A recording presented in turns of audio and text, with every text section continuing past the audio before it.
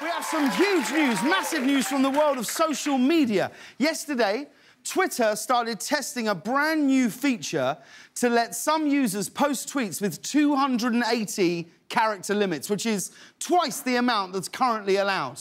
Yeah, because that was the big problem with Twitter.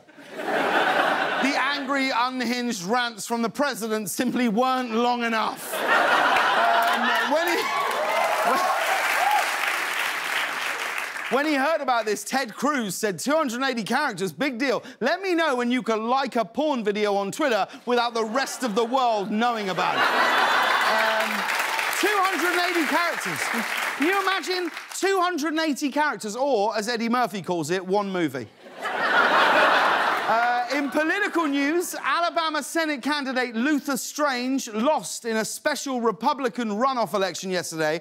Now, Luther Strange had been heavily endorsed by Donald Trump, particularly on Twitter. So, of course, now that he lost, Trump has deleted all of those tweets. I mean, Trump, Trump hasn't dumped anyone that fast since his last wife. and his last FBI director, and his last chief of staff his last communications director and his daughter, Tiffany. Um, now, if Trump deleting those tweets wasn't embarrassing enough, Luther Strange lost to a crazy populist candidate who actually pulled out a pistol on stage at his campaign rally earlier this week. Here's the guy that he lost to.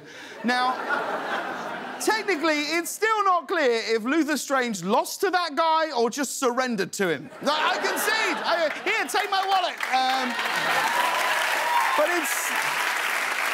It's all been very confusing, so let me sum up this Alabama Republican runoff for you, OK? So, Trump, the crazy populist guy, didn't back the crazy populist guy. Instead, he backed Strange. I know, strange, but when crazy Trump strange, Trump went crazy, went back on his backing, deleting all the crazy Trump strange tweets. Basically, this strange story is so strange, it's crazy. In fact, it trumps all of the crazy stuff that happened on Stranger Things. I hope that clears everything up. now...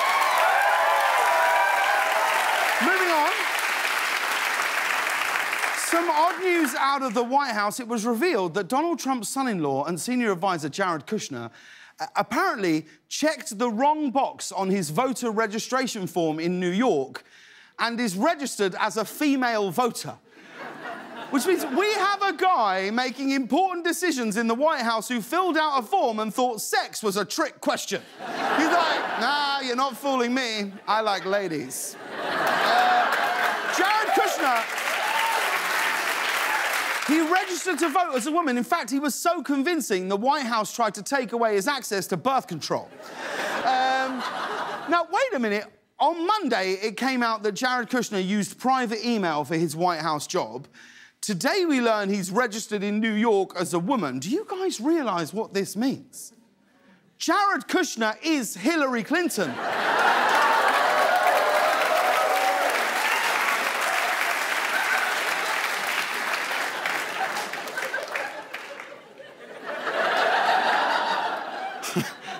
I would kind of love it. Imagine if he just arrived on stage and surprise!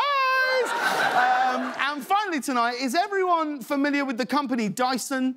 You know, they make vacuums and fans. Well, they just announced that they're now developing an electric car. Yes. yes. An appliance company developing an electric car because who hasn't dried their hands in an airport bathroom and thought, wow, if only I could drive one of these, this would be amazing. Uh, Dyson is investing more than $2 billion to develop the car. But I'm sorry to break it to you, Dyson, you're actually not the first vacuum cleaner company to invent a mode of transportation. That would be the Roomba.